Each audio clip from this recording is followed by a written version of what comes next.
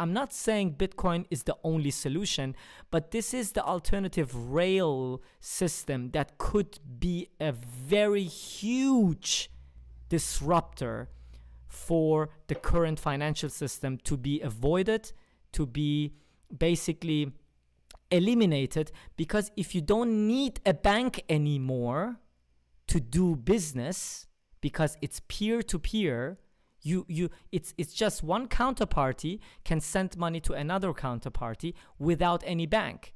So you get rid of all these political nonsense.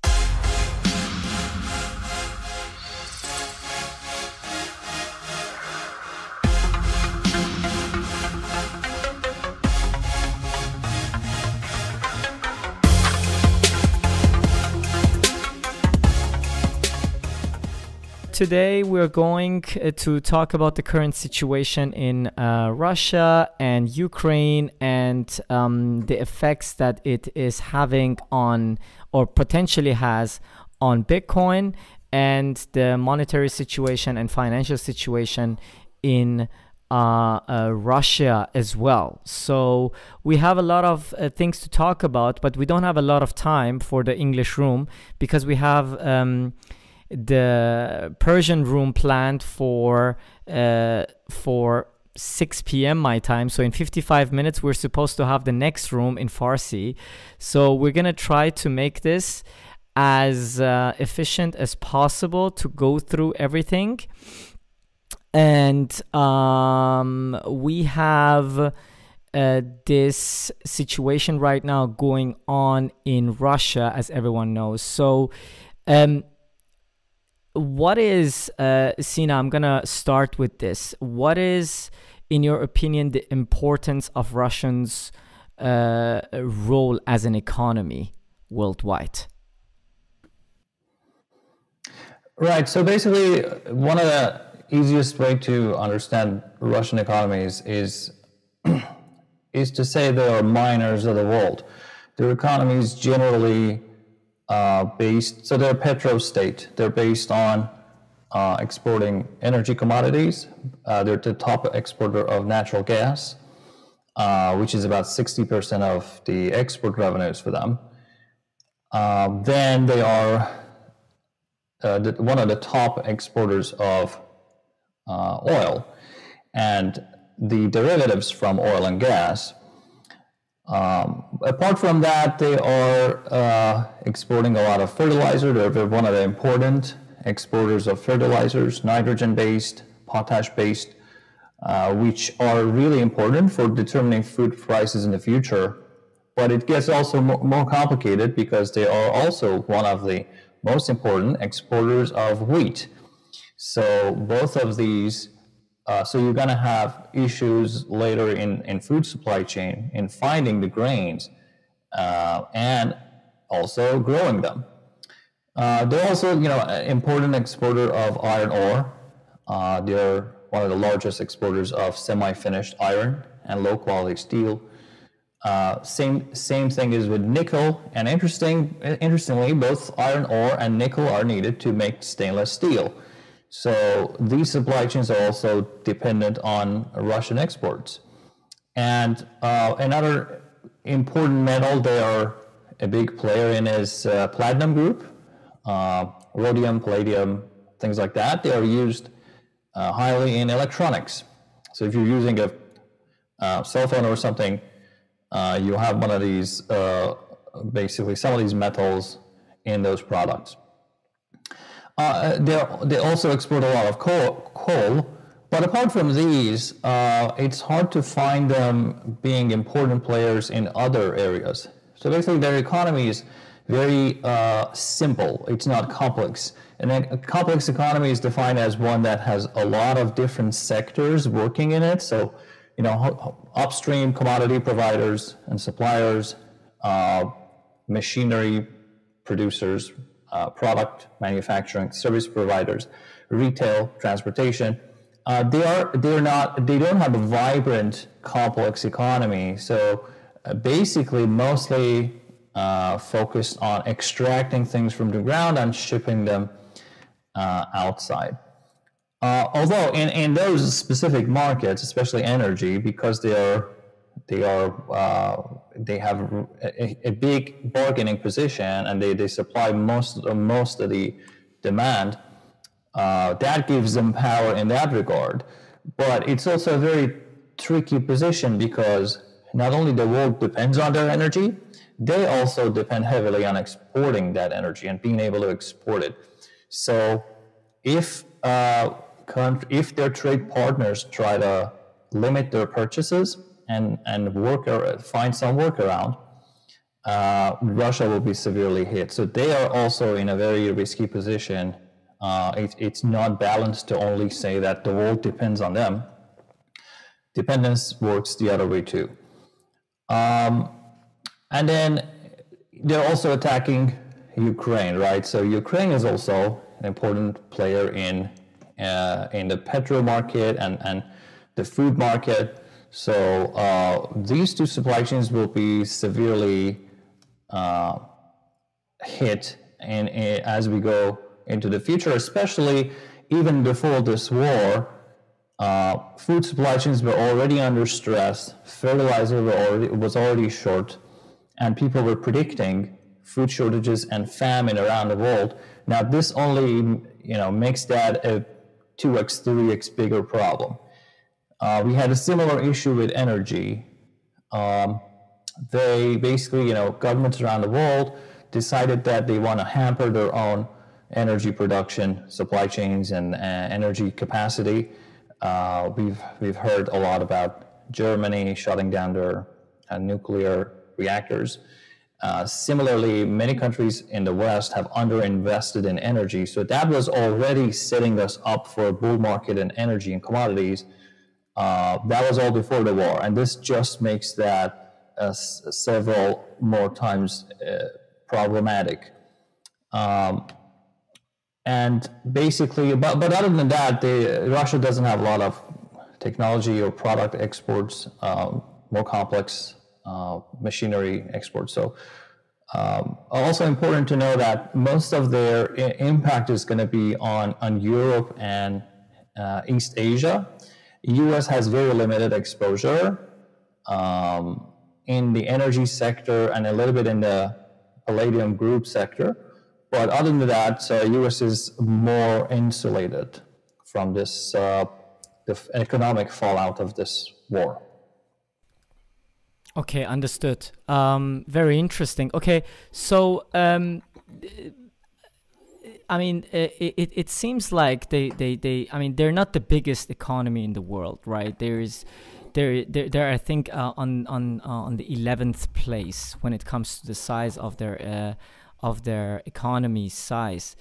Uh, however, I mean, the, the, the, the concept of um, this aggression behind uh, Russia's um, war, I think it is quite important to talk a little bit about that. And maybe from there, we can move on to discuss the effects that it could have on uh, the financial system uh, within Russia, and of course, its ripple effect on other financial systems. And then um, at the end, maybe we can talk a little bit about Bitcoin. So, um, I've uh, you sent me a very very interesting video yesterday that I watched, which was very fascinating, and he was talking about this um uh, this tremendous uh, issue that Russia is facing from the NATO and essentially all these gas uh, discoveries that uh, was made in Ukraine. Can you maybe talk a little about uh, a little bit about that, and then we can take it from there? and discuss a little bit more about the financial effects of it? So the gas discoveries of uh, that happening in Ukraine. Yes, exactly. And, and and what could be the reason behind the motivation of of of uh, Putin? There, there are several scenarios. Obviously, we are we, we don't have sufficient information, and uh, uh, for anyone to claim they exactly know what's in Putin's head is, uh, frankly, uh, you know, ridiculous. But there are several uh, possible scenarios. So they have a lot of interest in the eastern Ukraine, uh, the Russian-speaking people who are sympathetic to Russia. So capturing that land might also have not only uh, the, the give them the privilege of having more land access, but also those areas population-wise, demographic-wise, they're uh, more sympathetic to Russia, so easier to easier to integrate, and maybe uh, they they will also be willing to do that. Uh, uh, and not resist an occupation or so. So it, it also give them the ability to connect Crimea to, to, to, to the north and, and allow, allow them easier maneuvering.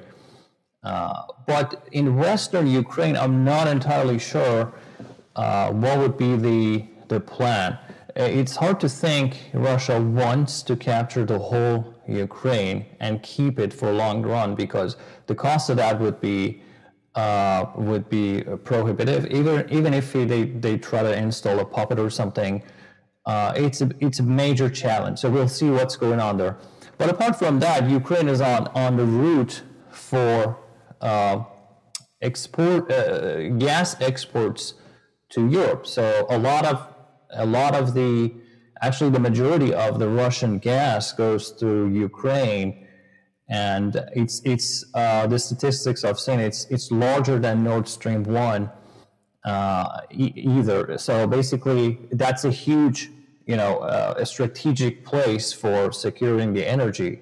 Uh, it, it is also very possible that m- not many people within Russia knew about it. We're getting reports saying that you know people are surprised. Uh, you know the soldiers were like you know we never thought uh, that this was the plan and things like that. And, and so things remain very, very uncertain there.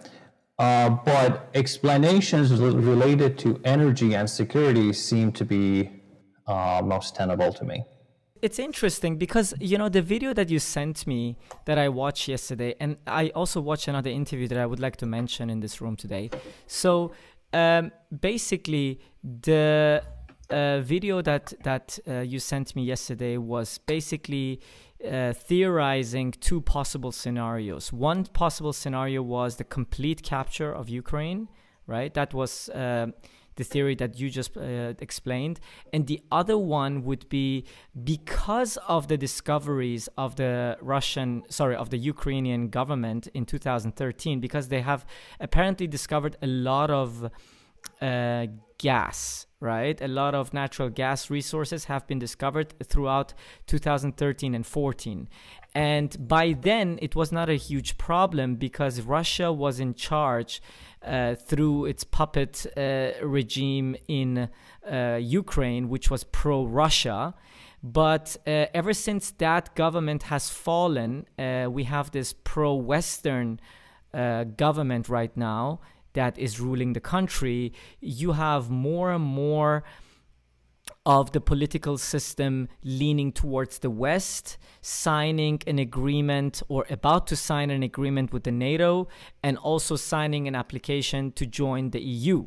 So, this is a huge problem because if that would happen, the entire dependency of the West from Russia's gas resources would be completely eliminated. So Russia has an incentive to protect itself and its uh, uh, natural gas resources and dependency by either capturing Ukraine completely or by at least capturing the lower southern part of Ukraine, which is basically the border to the sea where all these ga natural gases were discovered.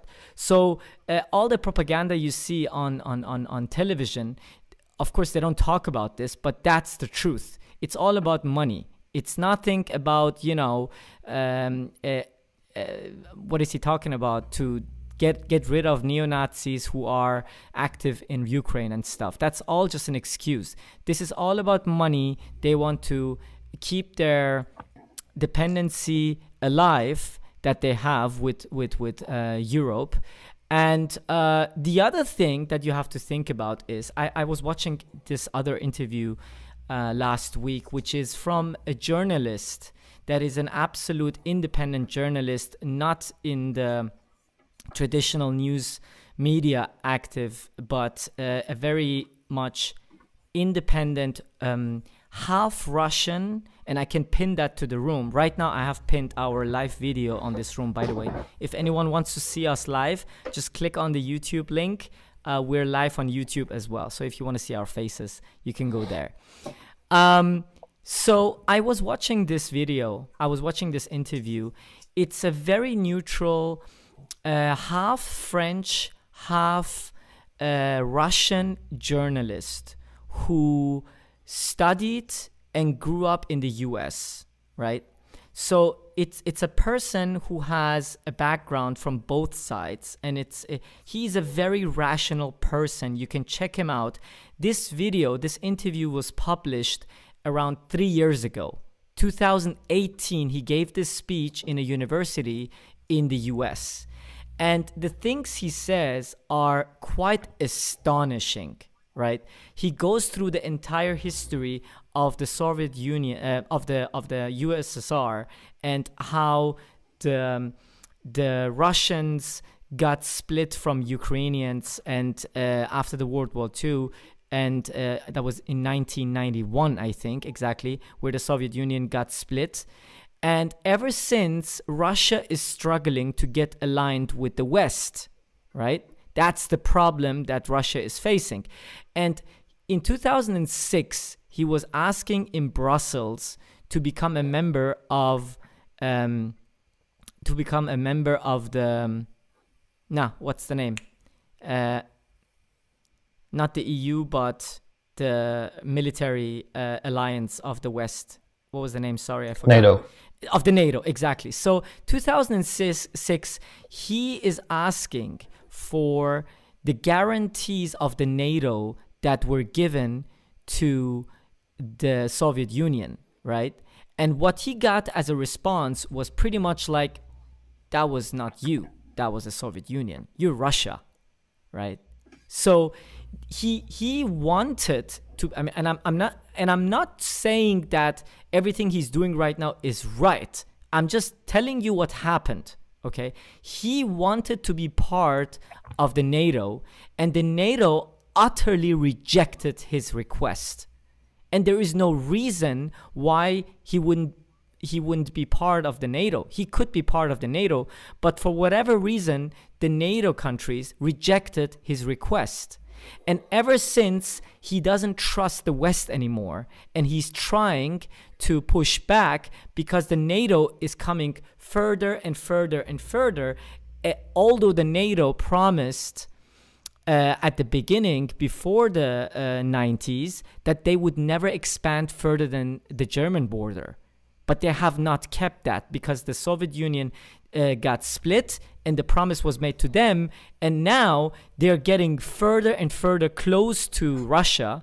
So if Ukraine would uh, even join the NATO that would completely surround Russia with all the western countries. And if you ask me i wouldn't feel uh, i would i would also feel very very much threatened if i see the west coming further towards me and rejecting my offer to even join them right which doesn't, of course, justify any type of aggression or war. That's not what I'm saying, but that's essentially what has happened.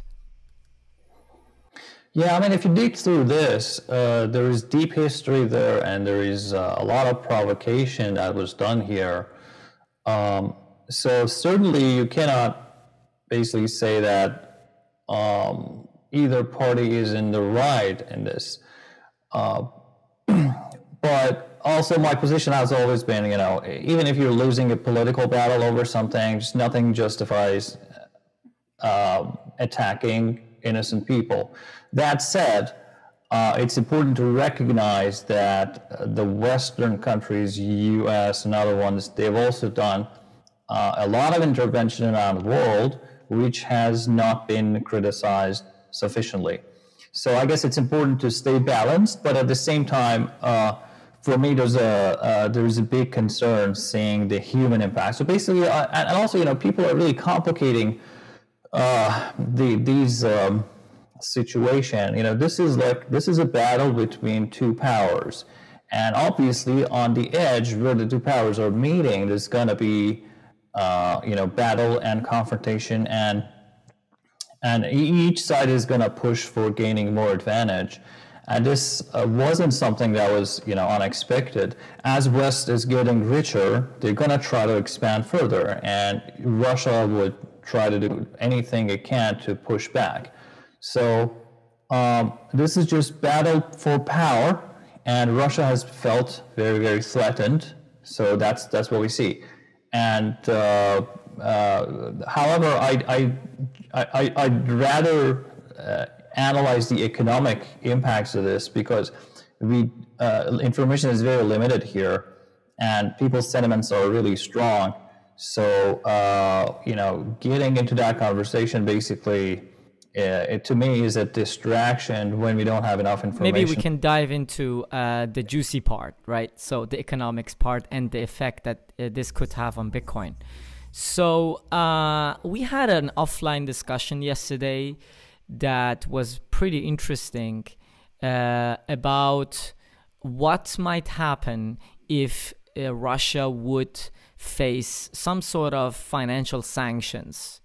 So um, maybe we can talk a little bit about that and uh, what it would mean for uh, something like Bitcoin. Um, so basically, let, let, let's first talk about the uh, general um, uh, fallout of this. Uh, so we talked about the importance of Russia for the world economy and, and which supply chains are going to be hurt.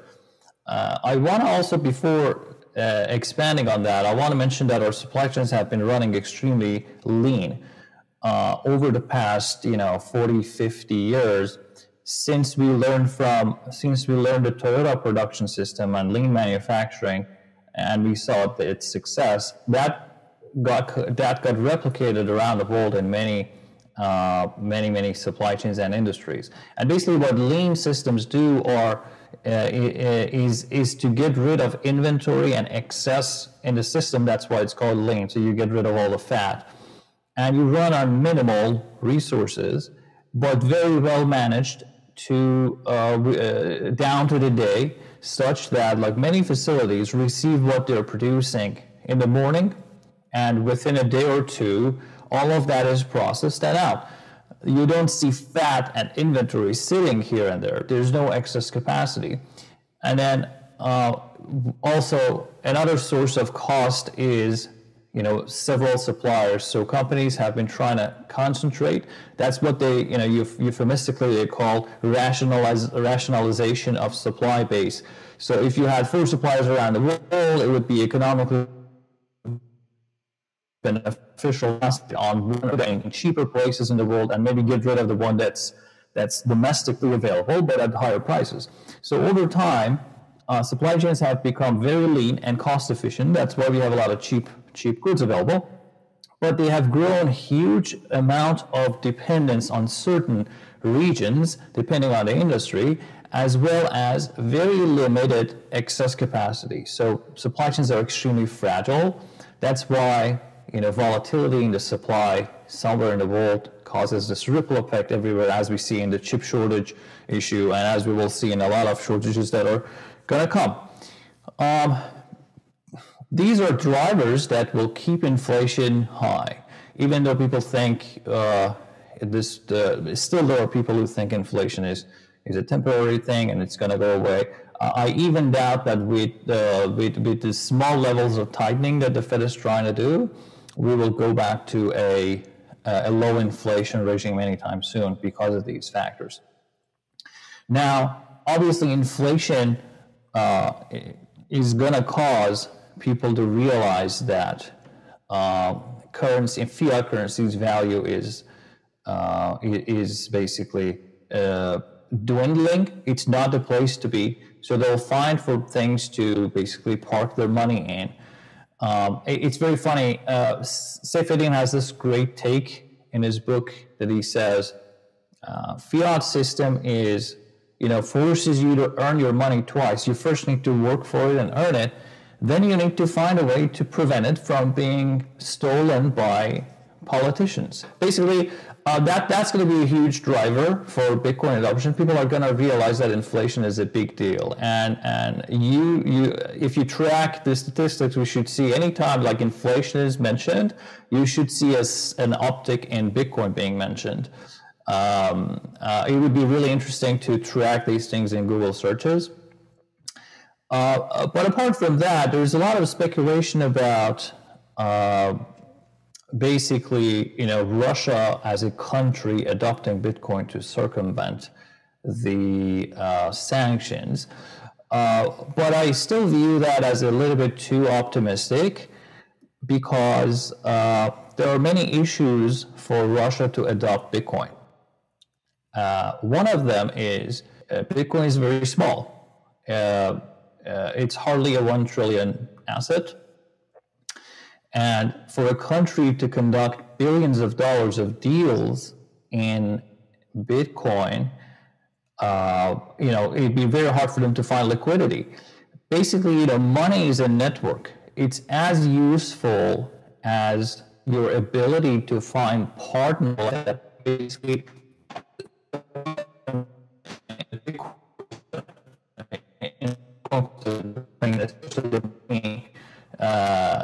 the first section that's about money is explain how money works. Um, money is a promise to pay in future, a promise of trade in future. So you have provided a service to me, and through that exchange of money, I give you the promise to you to be able to sell. And it's only as good as your ability to spend it in the future, and you find another trade partner that will accept your connection uh, that money your connection is breaking, uh, Sina. I think uh, you have, but I think now you're back. We lost you for a second. The okay. connection was poor, but I think you're back. Sorry, go on, go on. All right. Uh, yeah. So basically, uh, I was, I, was, saying money is a network, and and uh, its value, its utility is proportional to your ability to find other trade partners that will accept that money. So if you're if you're if you're trying to make billion dollar deals, you have to find billion dollar Bitcoin buyers, and that's a bit uh, a, a, bit of a stretch to say that Bitcoin can do it at that moment, especially uh, at the country level. So that that's going to be very hard. Um, at the same time, it's a very like I said, it's a very small asset. So even if Russia finds a partner that will accept uh, that much Bitcoin, uh, then uh, you know, the immediate intervention in that market is going to cause the price to go up. As soon as they want to do the deal, they have to buy the Bitcoin, right? So they have to buy, uh, maybe find people who would uh, receive rubles from them and give them Bitcoin, right? And that's gonna, that's going to just get harder and harder as we go. And it's going to lead to a major effect on Bitcoin's price and limits Russia's ability to buy Bitcoin. So uh, it, it, basically gonna wreak havoc in the market as well if they, if they if they get uh, involved. Another thing is, you know, even more than anything, this is not a technical issue. If if the problem of Russia is not find not able not being able to find trade partners, if trade partners are refusing to trade with them, uh, you can't circumvent that by finding a different way of sending money. It, that's not the problem. The problem is finding the partners and and uh, uh, so uh, and, and use of Bitcoin or any other system wouldn't solve that.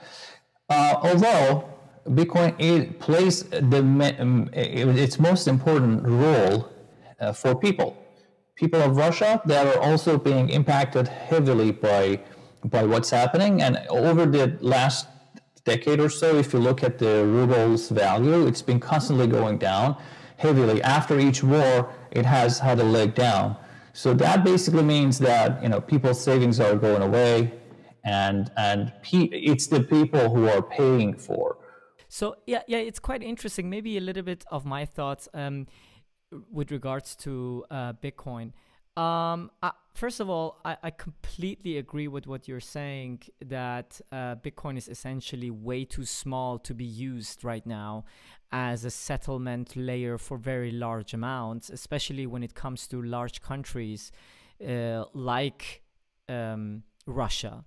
Um, however, since everything is right now is settled settled through the SWIFT system and uh, on the fiat uh, rails, I do believe that on uh, the country's level, on the government's level, it, Bitcoin can play a very large role to, uh, first of all, um, act as a safe haven for countries and governments to accumulate Bitcoin in order to protect themselves from the dollar's uh, inflation rate. Um, not only on an individual level, but also on the um, country level. That's one thing. And the other thing is that I, I really think that uh, a company, or sorry, a country like Russia could really benefit uh, if the country gets cut off the SWIFT system to at least uh, use some other rails, right? It doesn't have to be exclusively Bitcoin because of the exact reason that you just mentioned, which is liquidity, because it's not as big as it's supposed to be in order to uh, satisfy the amount of volume that a country like like uh, you know Russia would need. However, it could use, uh, for example, uh, the Chinese currency system. It could even create its own currency system that uh, uh, would be an alternative. However, there is one more thing to consider here. Um, it is a huge game theoretical race right now who is going to basically opt out of the dollar system as the US weaponizes its dollar dominance or uh, its dollar reserve status, right? Because ever since the dollar has become the world reserve currency, the US has used its currency to oppress other countries and to basically make them what they want, right? And what what many people don't understand it's it's not only a technical thing that the US can do it's also uh, from a sanctions perspective a political problem for other nations to deal with some entities or countries that the US doesn't like let me give you an example. There is a there is a list. You can Google it. The SDN list, uh, the sanctions uh, list of the U.S. So basically, Vladimir Putin was put on that list last week as an individual. So let me explain what that means. Even if Vladimir Putin can access the SWIFT system, but he is on the SDN list, any bank or intermediary who has political interest on the West, which is the US, European Union, and every major Western country, right, would be in danger to do business uh, or would put himself in danger to come on the same list like Vladimir Putin if he does transactions for this individual, right? So if the US has this capacity, this political uh, capacity to put individuals or banks on this specific list that I just mentioned, and you have to imagine every bank in the world follows this list. So if the US puts, for example, your company on that list, no bank that has a tiny bit of interest to do business with Western countries would do business with you not because it's technically not possible, but rather because politically it's a suicide. They have to close their doors because there's no other business coming to them because they would be shut out of the entire banking system. So you can be an entity who has access to the financial system, to the SWIFT system, but still be SDN and completely screwed. And no one would want to do business with you because if they did, they would expose themselves to a problem that, for example, if they ever travel to the US, they get arrested because they did business with an SDN, right? Who wants that? No one wants that, right? So it's one thing is the technical payment rails that uh, is namely the SWIFT system. The other thing is the sanctions policies that the US can put on individuals, entities, and countries, and even industries, right, that can put a huge amount of pressure on a country like Russia. Let me give you an example. During the Iran deal, when Obama was president, with Iran, there were certain industries that were under sanctions and certain industries that were not under sanctions from the perspective of the US. Okay?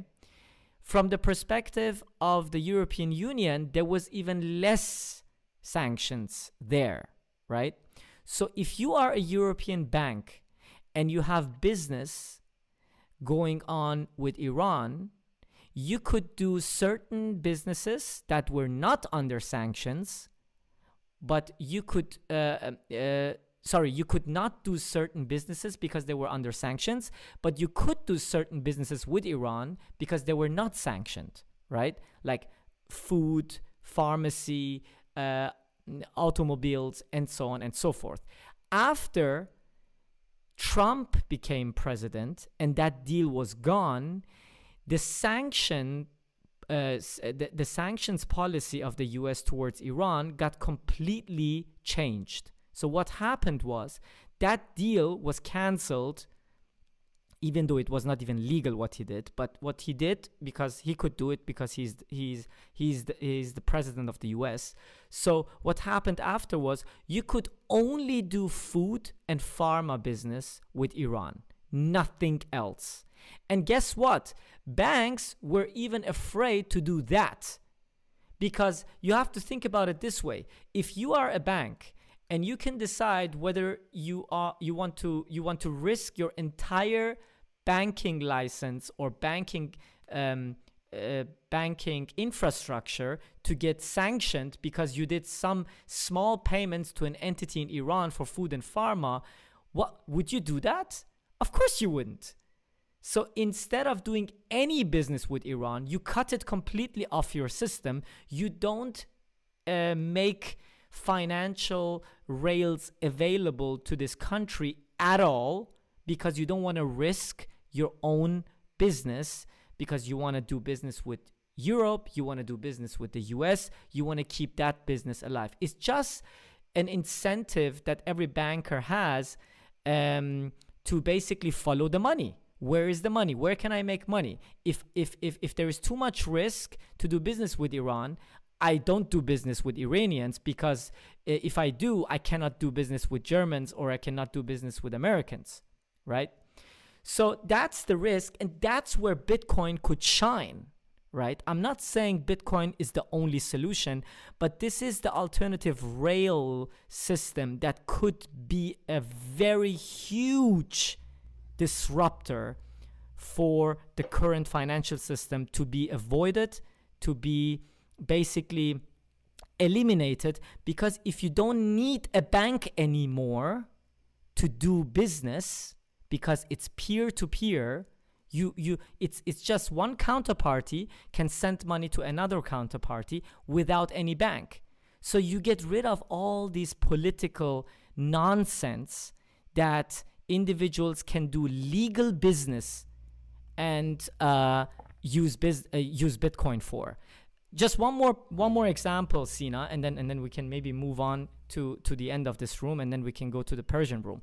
So, if you are an Iranian individual right now and you are in Iran, you cannot send money to Europe, even though it is absolutely legal to do so.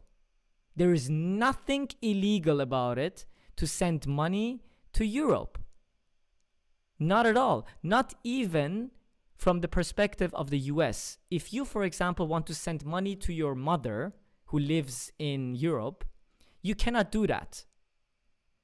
Why?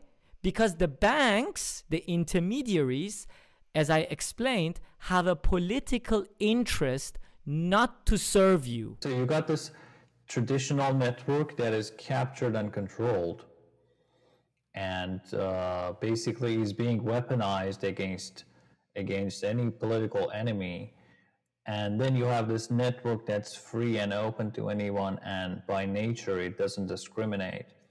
And uh, uh, just like you said, on the margins, we will see a migration from the old system to the new system. The harder it gets, the harder it gets to use the old system. So the more they use it as weapon, the more they use it to censor people, to kick people out, you will see the faster transition from the old system to the new one. And if you look at the incentives of people, there are uh, there are people who, there are many institutions who are the beneficiaries uh, of the fiat infrastructure and the petrodollar. They will be the last to, to move to Bitcoin, but they but they are basically using that power to take advantage of many other participants, many other countries around the world. Those are the ones that have the biggest incentives to to switch to Bitcoin. Yeah, absolutely. Okay, I think we covered uh, pretty much everything we wanted to talk about. We were very efficient, actually, pretty much on time. So, uh, if anyone has a question, you can raise your hand. We can bring you up on stage. You can ask your questions about this topic. Uh, but please, only if it's related to this topic we're talking about. You can also alternatively DM me the question, and um, you can also uh, put your question on our YouTube. Um, the link to the YouTube channel is um, on the room here. It's pinned on top of the room, so you can also go there and ask your questions on the comment section.